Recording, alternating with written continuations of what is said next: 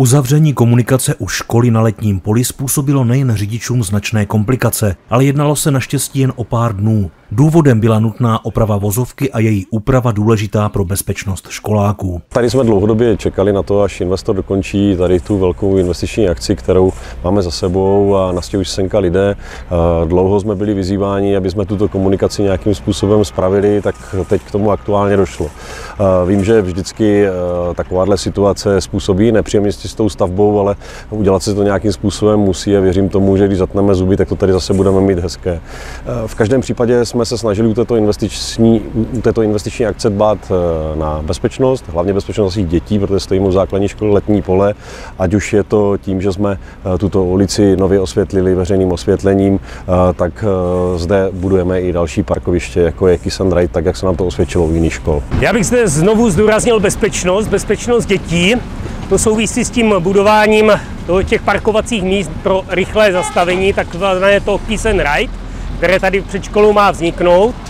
Druhá věc, ta poničená vozovka výstavbou těch bytových domů bude samozřejmě kompletně zrekonstruována a naším cílem je výr, zvýraznit celý ten přechod, který byl tady poměrně nenápadný. To znamená, i ten přechod dostane svoji barvu, aby byl pro řidiče eh, viditelnější.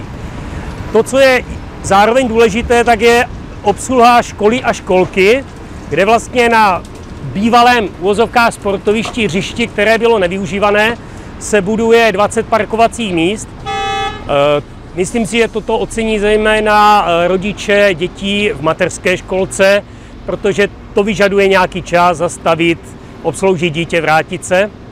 Ale aby to nebylo pouze pro školu, tak vždy každý den od 17. hodiny plus samozřejmě víkend to bude sloužit obecně veřejnosti, protože víme, že na letním poli a i na ulici Gorkého těch parkovacích míst je nedostatek. Běžný člověk, uživatel, bydlící bude moci tohoto parkoviště přes noc běžně a víkendy užívat. Na jaře letošního roku bylo časté, že se při prudkých deštích zatáčce pod školou vytvářela laguna, kterou museli odčerpávat hasiči. Někteří občané se domnívali, že jde o vadu komunikace. Ta však na vině nebyla a laguna by se již vytvářet neměla. Co se týká té zatáčky, tak tam to bylo často způsobováno samotnou stavbou, kdy vlastně ten, ta zemina, která se vznikala během té stavby těch bytových domů, tak se vlastně po nějakých rozsáhlých deštích splavovala, ucpávala ten kanál a to byl největší problém. My jsme provedli čištění, dneska už stavba tady neprobíhá, myslím, že ty problémy jsou vyřešené. Navíc došlo ještě k osvětlení té vozovky, takže už se dneska neprojíždí tmou a je vidět i chodce, běžce, eh, kteří se pohybují po silnici.